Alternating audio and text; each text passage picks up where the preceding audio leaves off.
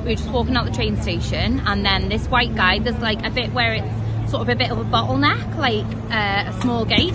And this white guy just turns around out of absolutely nowhere, pulls a knife and stabs this guy who I don't know that he was Muslim, but he looked Muslim and his name was Mohammed. Yeah. And he just literally went for him with the knife. He put his hand out to stop it, and the knife went straight through his hands, and there's blood everywhere.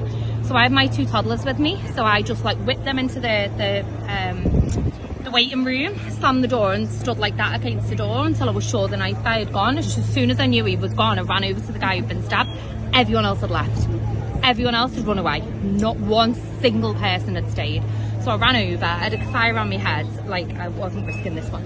I had the red one, took it off my head and like tied it really tight around his hands and was like squeezing it. And he was ringing 999 and he was talking to them, trying to explain what was happening. As soon as he said his name was Mohammed as well, tone changed on the call. Like genuinely, I'm not just saying that the tone immediately changed With who? With the police? the police, yeah, the responder, whoever he was on the phone to.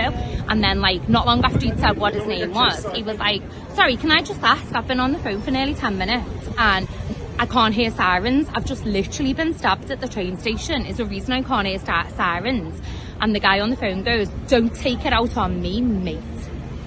Oh my god. Like, I'm sorry, they would not have said that to me. I know they would not have said that to me. So at this point, I'm like squeezing his hand, trying to stop the bleeding with me fire. I was like, give me that phone, give me that phone sec, give me that phone sec. He's like, no, no, no, no, no, no, no. But I heard them say it. Yeah. Don't, don't take it out on me. Um, anyway, it took 25 minutes for the police and the ambulance to turn up.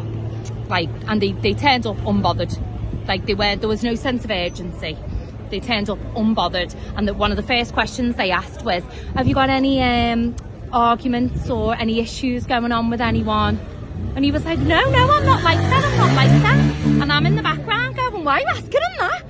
And he's like, she was like, oh no, we just need to ask that. I was like, you don't? Said someone's just randomly stabbed him in the train station for absolutely no reason. Why are you asking him that for?